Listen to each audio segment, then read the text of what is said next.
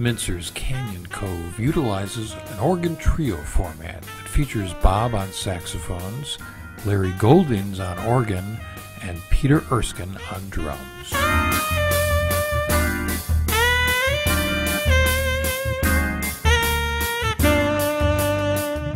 There's a certain transparency and spaciousness to playing with three people that I like very much. Typically there is a guitar player involved, but it just didn't occur to me. I just thought to get a great organ player and a great drummer and myself would be really challenging and fun to do.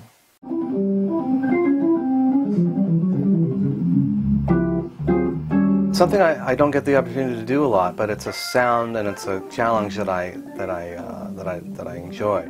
It's really fresh sounding. It's really more open sounding than I expected. Be stop time to stop time, you know. Oh, yeah, so maybe yeah. that's. No, no, let's just leave it. Okay. There's a, a purity about the project.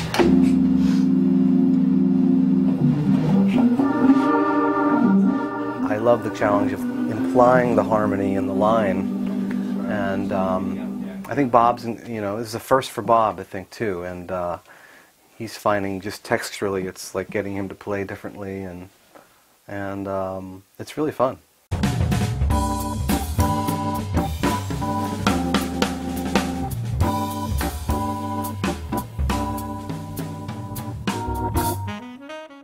Jazz music, to my way of thinking, is exactly that very scenario where you walk in and you play.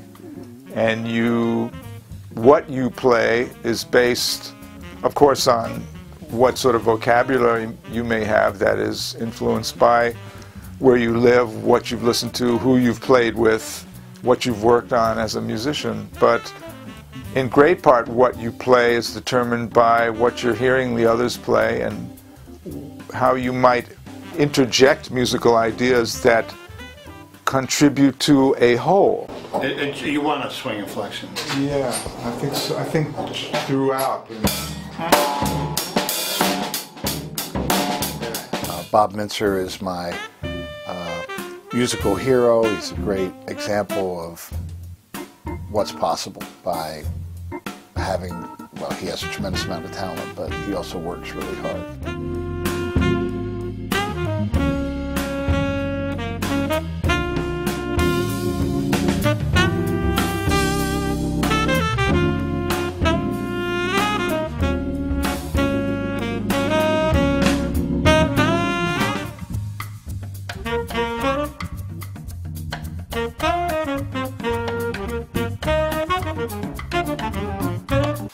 It's always got that sense of tradition uh, uh, where there's a very singable melody, but with his harmonic concept uh, under it. And um, I love that about Bob's music. The first thing that comes to mind uh, when I think about Bob's playing is he's not afraid of playing a melody and he's not afraid of a beautiful sound on the instrument.